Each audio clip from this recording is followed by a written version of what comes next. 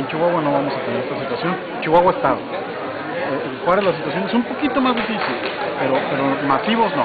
Vemos, vemos adecuaciones en el nivel de empleo. Realmente lo que nos vamos a enfocar mucho es a, a no su- sustituir a la gente que decide ir a otros empre- empleos, a dejar que la rotación natural que se da en nuestra entidad compense la reducción en las cargas de trabajo. La puesta de